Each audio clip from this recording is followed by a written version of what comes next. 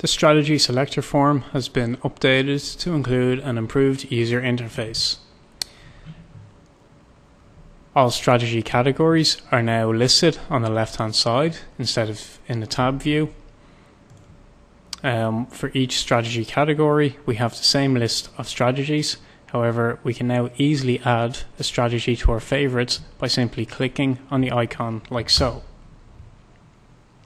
Once we click on that icon, strategy is automatically added to our favorites. We can just remove it as easily as unclicking the star icon.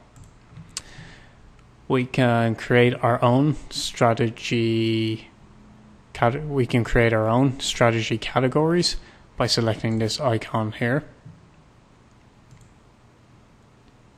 And that will make it easier to manage our own custom toolpath templates. So if I close the strategy selector and just quickly create uh, a blank toolpath, hit OK. If I right click on it, I now have the option to save a strategy. You can see that the advanced options where we can choose our parameters are is automatically hidden from view.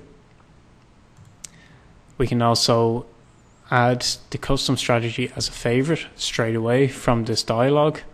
And we can also uh, add a new category from this dialog for this strategy. Now another difference this makes is that in our strategy selector form, uh, before, for example, if I saved a custom strategy to my desktop, every time I opened up the strategy selector, Powermill will create uh, would have created a new tab for each folder that had been already on my desktop. Now, when I create my custom strategies, it automatically adds them to a single category called my strategies. Of course, this can be changed afterwards, makes it less confusing for users. This is another improvement made in Powermill 2015 to hopefully make it easier for users to work with Powermill.